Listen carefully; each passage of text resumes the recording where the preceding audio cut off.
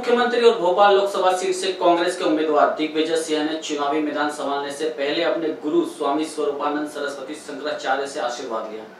ठीक उसके बाद दिग्विजय सिंह ने रायसेन से गुजरते वक्त हज़रत पीर शाह चिश्ती की दरगाह पहुँचे और अपनी जीत के लिए दुआ मांगी। देखिए हमारी खास राम के नाम पर राजनीति की बात पर बोले दिग्गी राजा। कांग्रेस पार्टी कभी धर्म का उपयोग राजनीति के लिए नहीं करती, धर्म हमारे लिए पुण्य है। और परमात्मा सबके लिए है और दोनों को हम राजनीति में नहीं लाना चाहते। खड़ा नहीं वैसे मंदिर के प्रांगण में आश्रम के प्रांगण में और धार्मिक स्थानों पर मैं बाइट देता नहीं हूँ। तो मैं तो केवल इतना ही कहूँगा कि महाराज जी मेरे गुरु हैं। परम श्रद्धे प्रातस्मरणीय स्वामी स्वरूपानंद जी महाराज मेरे गुरु शंकराचार्य जी के चरणों में मैं नमन करने आया था। उनसे मुझे आशीर्वाद मिला है। और बाकी तो सब देखिए क्या होता है।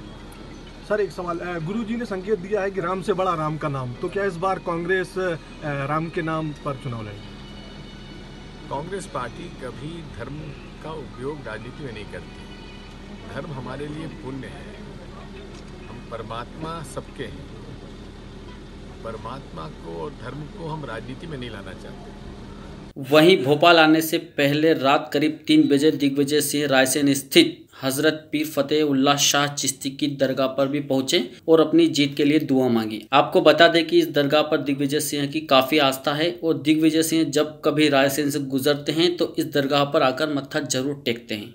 दरगाह के खादिम ने इस दौरान दिग्विजय सिंह के लिए जीत की दुआ मांगी और उनकी मन्नत पूरी होने के लिए भी दुआ की।